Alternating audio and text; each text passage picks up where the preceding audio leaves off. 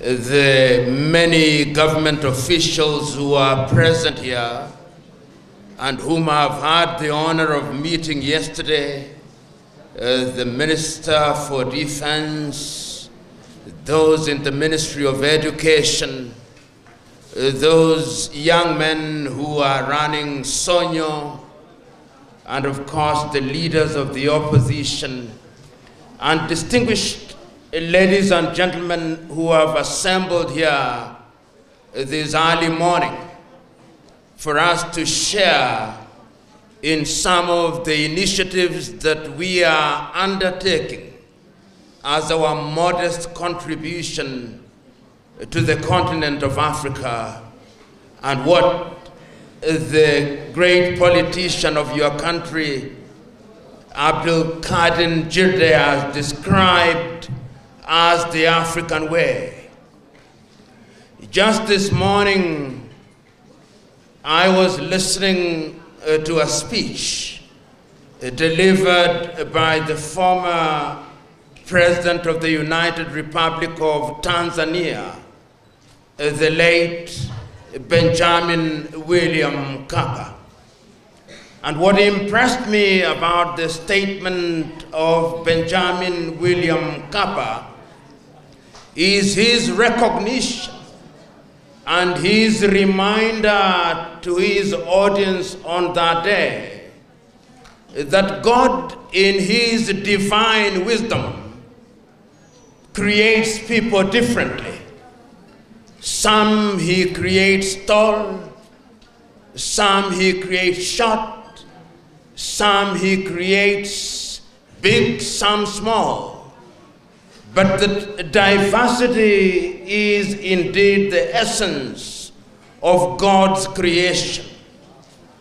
And just this morning, when I listened to the grand old man Zejirde, he reminded us that Africa has become a marketplace of foreign ideas, which we as Africans including those who are scholars and those who are in different parts of African governments market as if they were God given.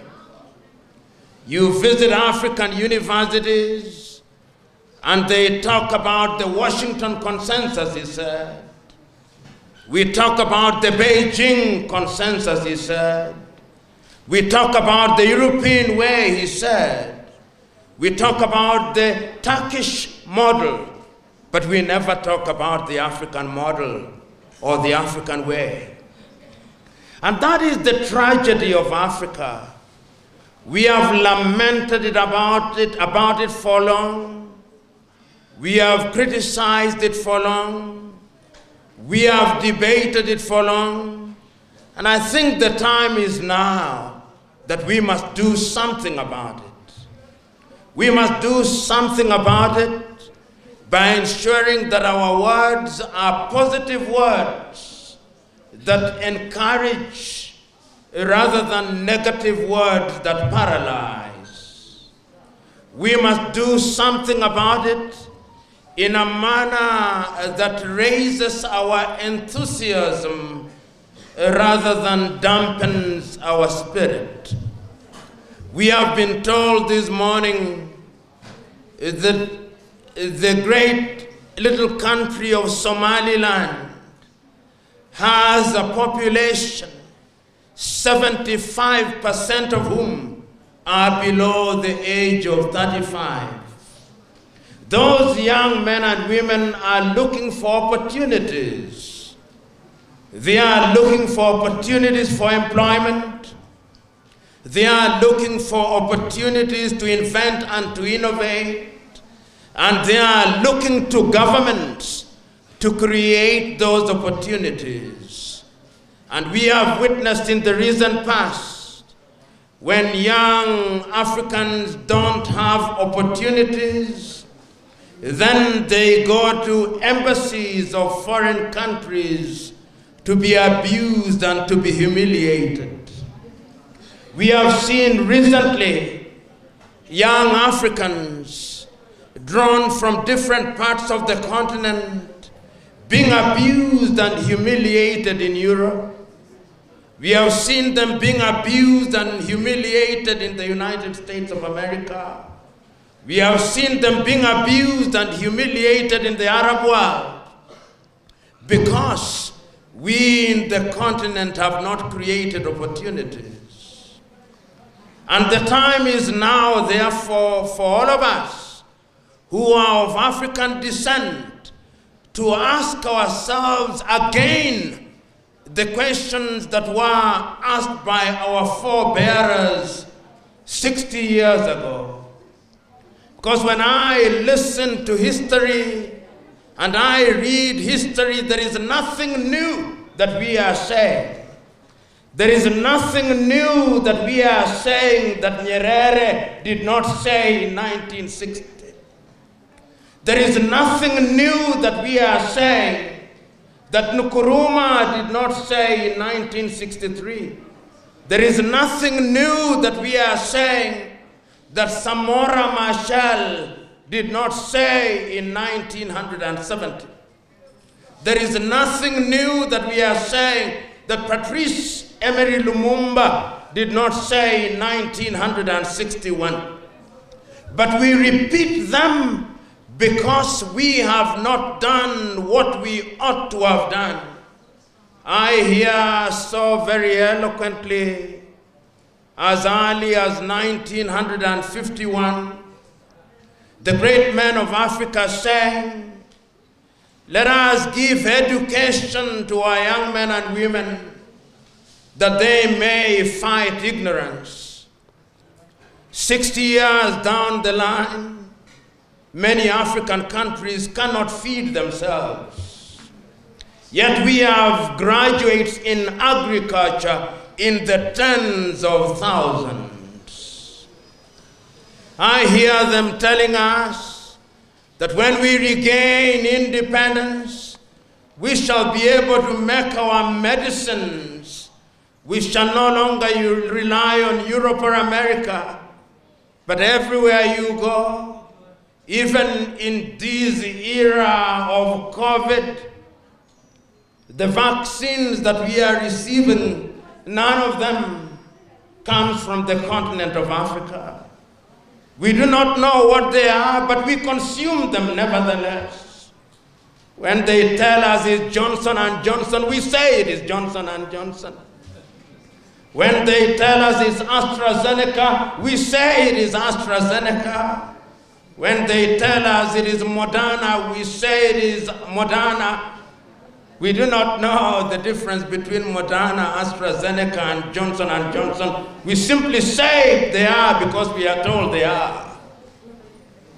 Which begs the question, what kind of education have we received? We have in the last many years produced thousands of engineers, but yet, when I travel across the continent of Africa, I do not see our Africans doing the great engineering works. All I see are Chinese. I see those Chinese in every other African capital, which begs the question, what kind of engineering do we teach in our universities?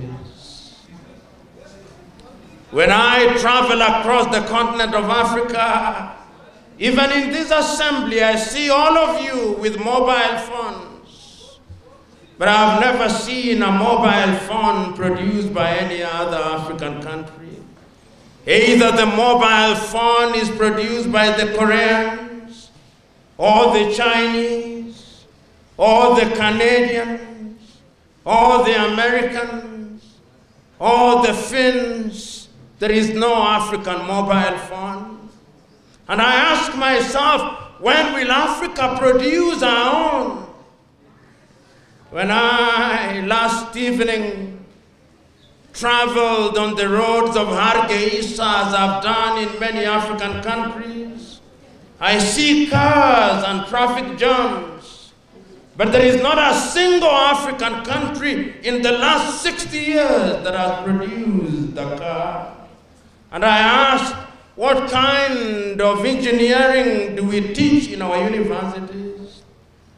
Right now, I see cameras from television and radio stations, including the microphone that I hold. None of them is made in the continent of Africa. That is the tragedy of our continent. We lament about how, on a daily basis, before I stood up, I was provided with a bottle of water, and that bottle of water is Dasani made by Coca Cola in the United States of America. Even water, we do not consume our own.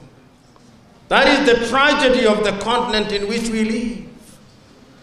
As I sit here, and I'm making it simple and basic. The gentlemen are wearing leather shoes. We have enough cows and enough hides and skins. But I dare say that 99% of the shoes that is being worn by the men and women in this assembly is from Europe and America. That is the tragedy. That is the Africa that we talk about. It is that Africa that we must change. And change we can, but we must make a resolve to make that change. Why is it, I often ask, that a few years ago, there are few of us here alive who are there when in 1945 Germany was bombed to the ground. Today, it is a world power in science and technology. What happened that they rose from the fire of extinction to the hard ground of reality and discovery? What did they do? There is not an army of angels that descended upon Germany to do the building. No. They took a solemn vow that they'll change their circumstances. Can we Africans do that? In 1953, Korea was involved in war and they destroyed each other. Today, if you walk into any television station, there is an equipment in the sector that comes from Korea in the name of Samsung. Turkey, until very recently, was a country that was not known for much except our history. Today, if you want to buy an iron box, Ramtons is from Turkey. Can we Africans do that? You know, whether you read the Holy Quran, or you read the Christian Bible, or the Jewish Torah, or the Hindu Vedas, the divine instruction is that you go out there and subdue the world. How have we subdued the world, we of the African continent? The world has subdued us. That is why we still import things that we can make for ourselves. In the words of the great Kenyan professor and thinker Ali Mazrui, Africa produces what it does not consume and consumes what it does not produce. That is what we want to change. And change it we can, particularly if we invest in our young men and women. You know, several years ago, I listened to the great Nelson Mandela and he said that part of the problem of Africa is the assumption that she can grow without involving her women in growth. And he said, How can you have two hands and tie one and expect that you will function in the same way? Africa has held our women down for too long. The time is now to release the potential of our women.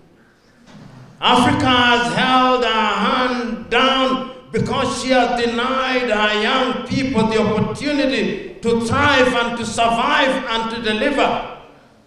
The time is now that the potential of the 75% that are to be found here in Somaliland and to be found in Africa must be unleashed.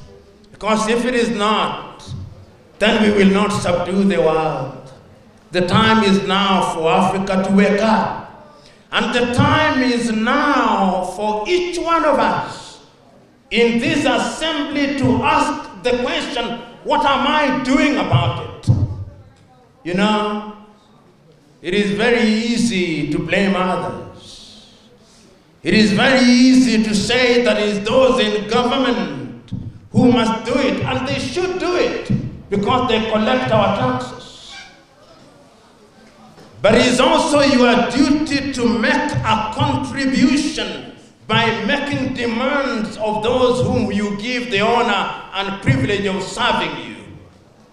And if they don't serve you, you remove them via the ballot. And I'm very happy that here in Somaliland, you do it so very peacefully, unlike many African countries.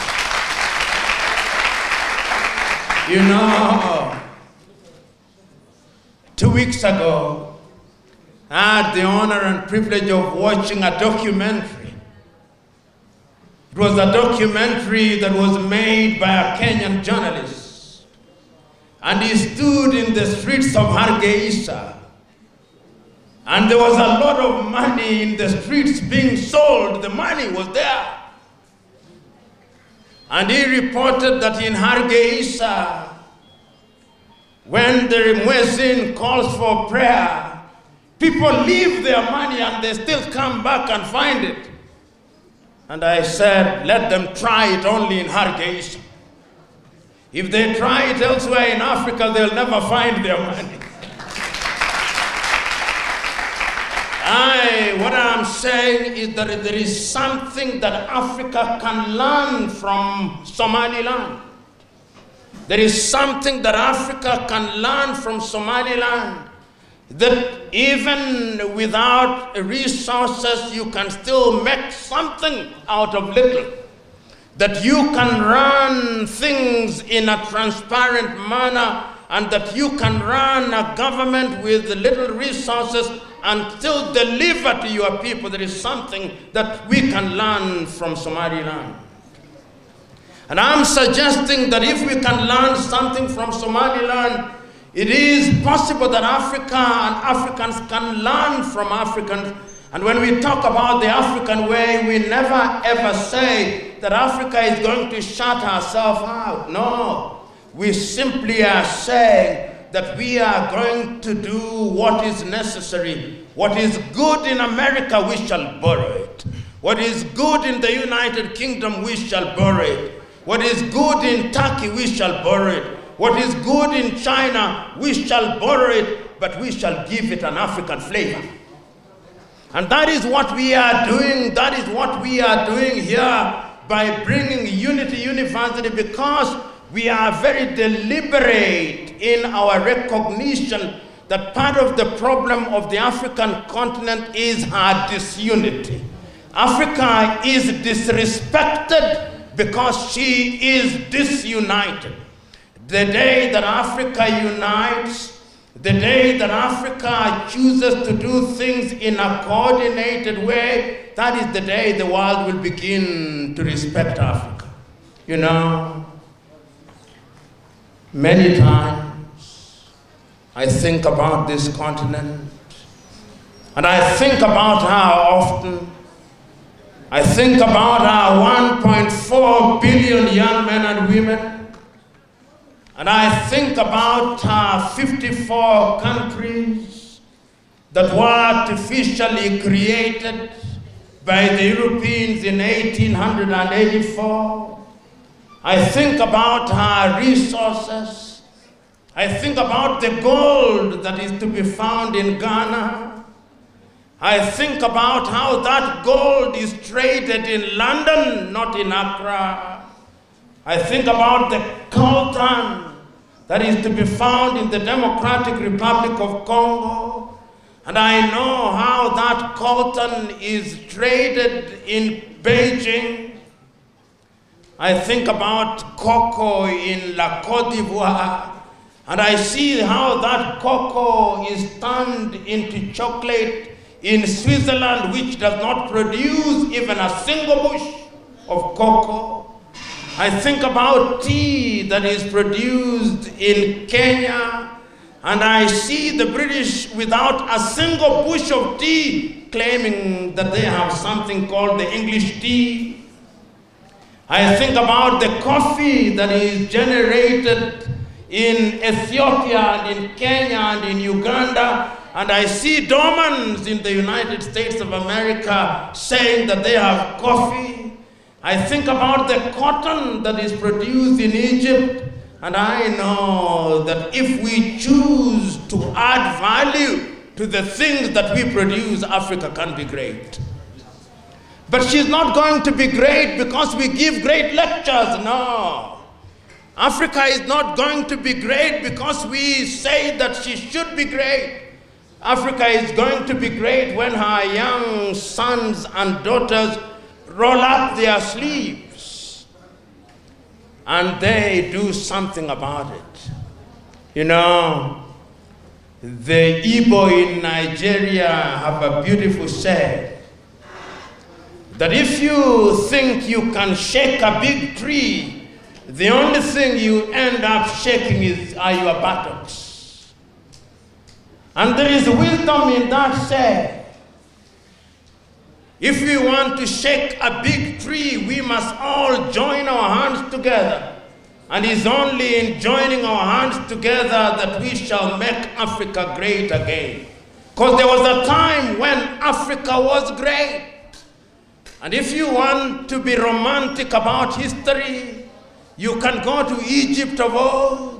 You can go to Lalibela in Ethiopia. You can go to the Monomotapa Empire in Zimbabwe. You can go to Benin in Nigeria. But being great in the past means nothing if we are suffering now.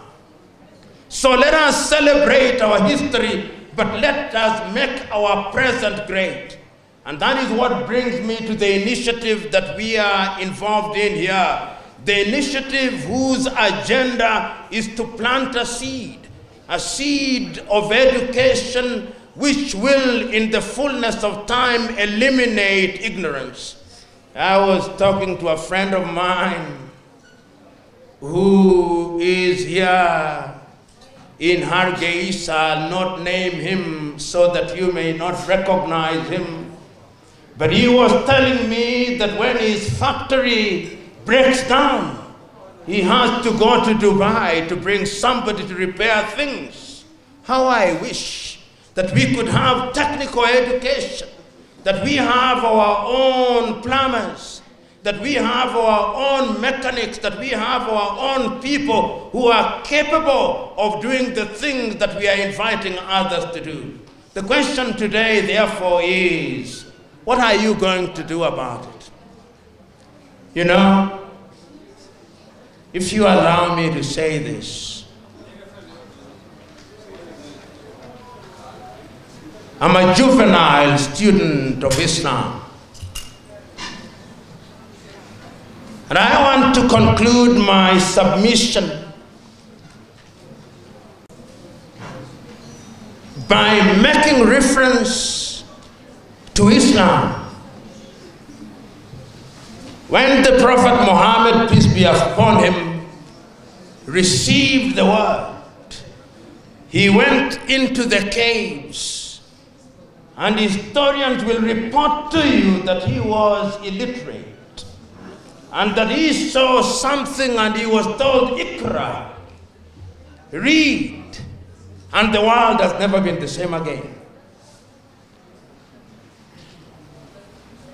He was a man such as you and me, divinely appointed to achieve a task.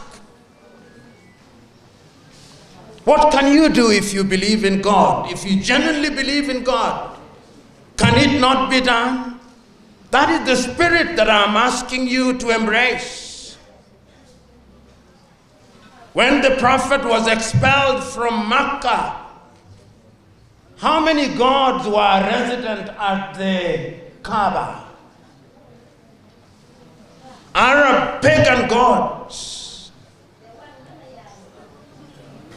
You will ask yourself and you will discover. And when the prophet moved to Medina. How many wars did he fight before he came back to Mecca? In one of the battles, I don't know whether it's the Battle of Uhud, he was outnumbered several times over. But he had resolved, him and his Sahabas.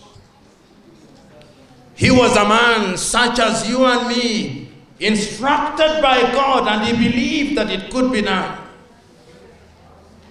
I am visiting a country where in every hotel room they'll give you a direction showing you where the Qibla is. Ask yourself, at a practical level, when you are looking at Mecca, in a practical sense, what should he do? Which God do the Chinese worship that we don't worship? Which one? If our God is God and is God, then we can do all these things.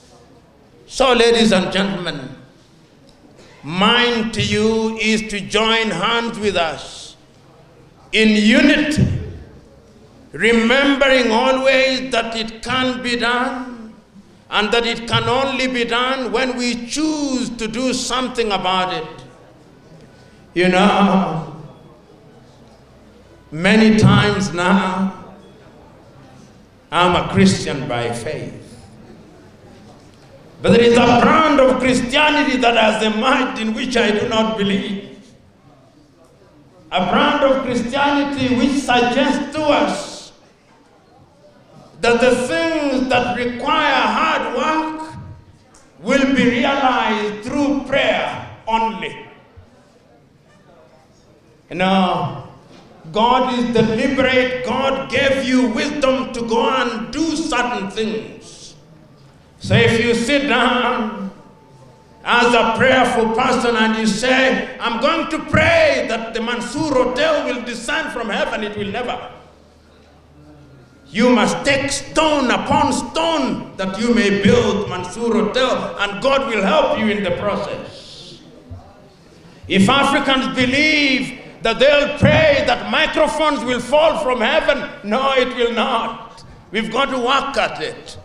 So, this belief that I see amongst African countries now, if you go to many African countries, there are many prayer sessions. People pray overnight in the belief that theology will solve their technological problems. No.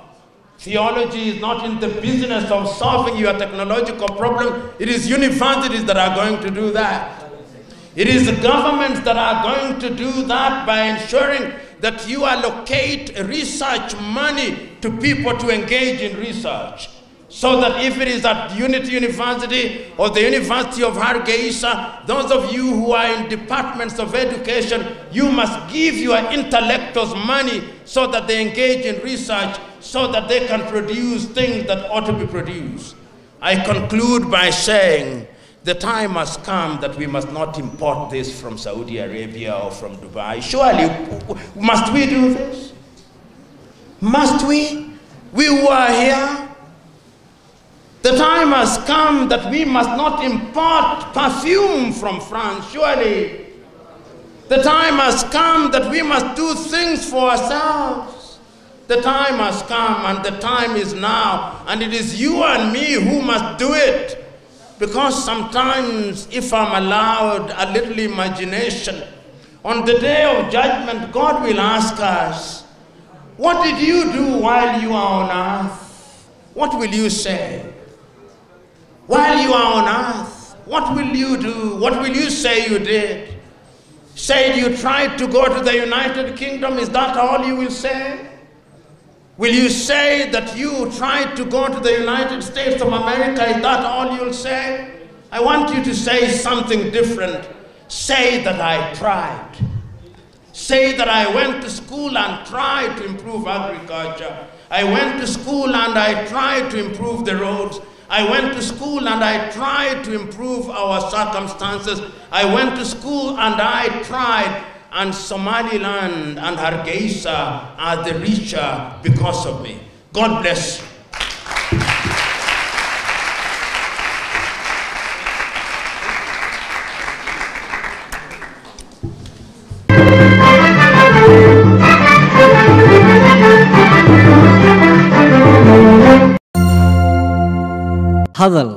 Oo hadal.